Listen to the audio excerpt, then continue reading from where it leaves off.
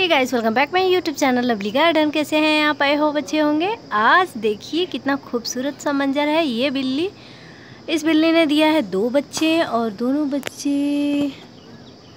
इसके देखिए यहाँ पे हैं।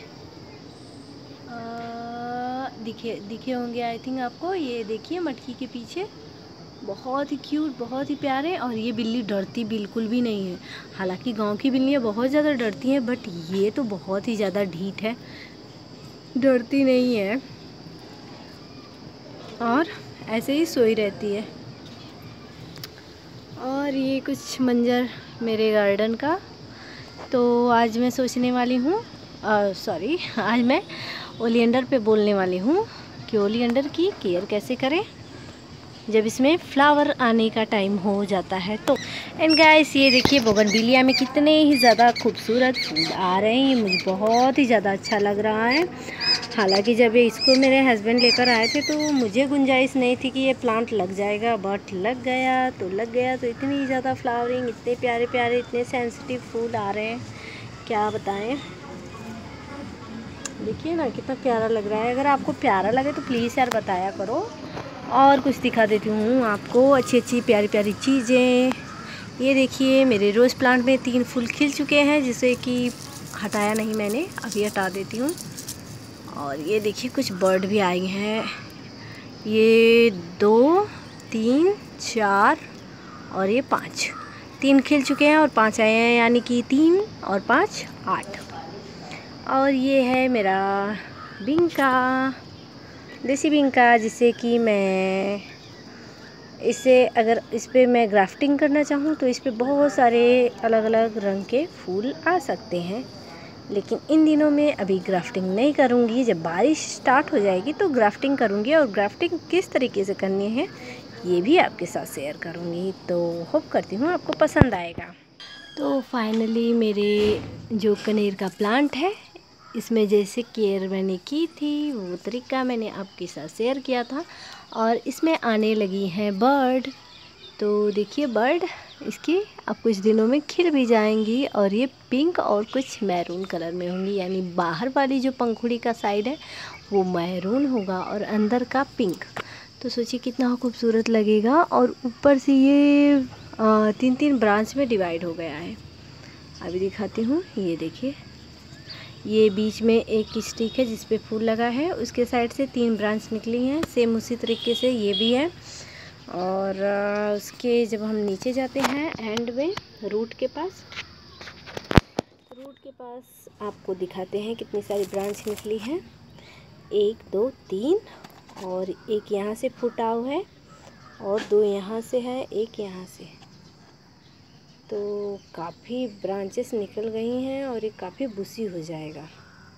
ठीक है? तो इस तरीके से मुझे अभी से, मैंने सोचा था कि इसको प्रून कर देंगे बट अगर इस तरीके से इसमें ब्रांच निकल ही रही हैं तो प्रून करने का कोई मतलब नहीं निकलेगा, क्योंकि ऑलरेडी बहुत सारा बुसी हो जाएगा मेरा प्लांट तो अभी मैं बताती हूँ कि इसको केयर कैसे करना है।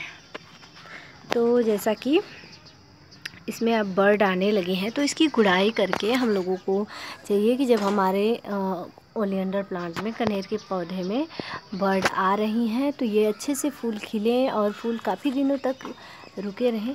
इसके लिए हमें इसमें खुरपी के ज़रिए इसकी गुड़ाई करना चाहिए और उसके बाद इसमें गोबर की खाद हमें दे देनी चाहिए। तो फाइनली मैंने अपने मिट्टी की गुड़ाई कर ली है। मैं गुड़ाई करते वक्त मैंने कैमरा बंद कर दिया था ताकि वीडियो ज़्यादा बड़ा ना बने। क्योंकि हालाँकि प्लांट की केयर तो सभी करना चाहते हैं, पर प्लांट लगाना भी बहुत लोग चाहते हैं, लेकिन कुछ लोग के पास इतना टाइम नहीं होता है कि बड़े बड़े वीडियो वो देखते रहें। तो मैंने देखिए मिट्टी की गुड़ाई कर दी है और मैं इसे हाथों से इस तरीके से फोड़ लेती हूँ। क्योंकि मैं जब भी कोई फर्टिलाइज़र देती हूँ या फिर मिट्टी की गुड़ाई करती हूँ तो मेरा ये काम रहता है कि मैं मिट्टी को हाथों से थोड़ा सा नरम बना दो फोड़ के, ताकि जो भी मैं फर्टिलाइज़र डालूँ, इसमें मिल जाए। तो भाई फर्टिलाइज़र में क्या डालने वाली हूँ? ये भी बता दूँ, क्योंकि बहुत ही इंपॉर्टेंट है।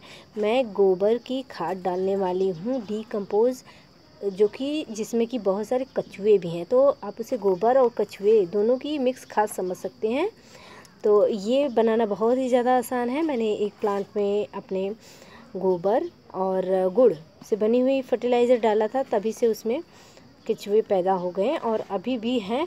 और जब भी आप ये मानकर चलिए कि अगर आप ऑर्गेनिक फर्टिलाइज़र इस्तेमाल करते हैं, तभी आप गोबर सॉरी कचुए की खाद का इस्तेमाल करिए, क्योंकि ऑर्गेनिक फर्टिलाइज़र में ज़िंदा रहते हैं, बट केमिकल फर्टिलाइज़र में ये मर जाते हैं। तो ये ये देखिए, और इस पर कछुए हैं, जो कि अंदर घुस गए हैं, मैं अभी दिखाती हूँ आपको। तो फाइनली मैंने निकाल लिया है और अभी मैं कछुआ दिखाती हूँ आपको। हालाँकि मुझे बहुत ज़्यादा डर लगता है, फिर भी आपको दिखाएँगे ताकि आपको भी कुछ आइडिया मिल जाए यार। बिना आइडिया के तो कोई काम नहीं होता है ना। ये देखिए, ये है कचुआ दिख रहे हैं? जिसकी खाद बनानी बहुत ही ज़्यादा आसान है। और ये दूसरा कछुआ बेबी कछुआ था, गिर गया। और यहाँ पे भी कछुआ है। देखिए। तो ये मिट्टी को बहुत ही ज़्यादा उपजाऊ बना देते हैं। और एक बार आप किसी पॉट में अपने कछुए की खाद बना लिए, ऑर्गेनिक चीज़ें इस्तेमाल कर रहे हैं तो ये कछुआ हमेशा आपकी मिट्टी में बने रहेंगे। ये देखिए, किस तरीके से। तो बस आपको इस तरीके से, मुझे तो बहुत डर लगता है इन्हें उंगलियों से छूने में तो कुछ इस तरीके से इस पतली से स्टिक के मदद से मैं इसको पूरी तरीके से फैला दूँगी। और ये धीरे धीरे अंदर चले जाएँगे। इस, ये अंदर चले जाएँ, इसके लिए मैं इस पर पानी डाल दूँगी। तो ये अंदर चले जाएँगे और मेरे पूरे मिट्टी में कछुए हो जाएँगे।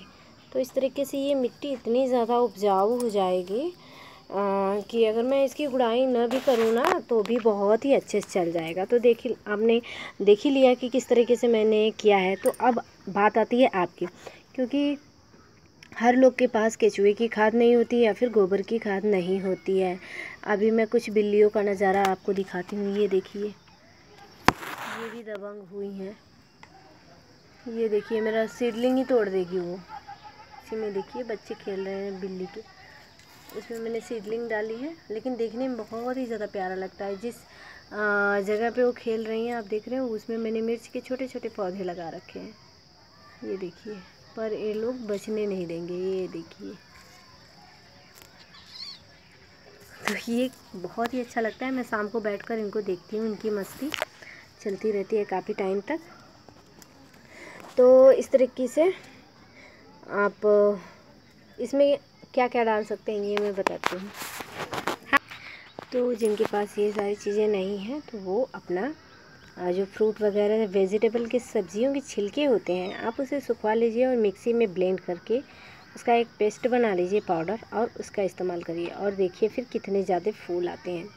तो ये थी कुछ तरीके जो कि आपको कनेर के प्लांट पे खूबसूरत, उसको बनाने के लिए हेल्दी बनाने के लिए। ऐसा नहीं कि एक बार फूल दे दिया आपका प्लांट फिर उसके बाद मुरझा गया, या फिर उसमें उसकी ग्रोथ रुक गई। हालाँकि कनेर बहुत ही रफ टफ हार्डी प्लांट है, पर कुछ ना कुछ इसमें डालते रहना चाहिए। ऐसा नहीं कि एक बार डाल दिया तो बस।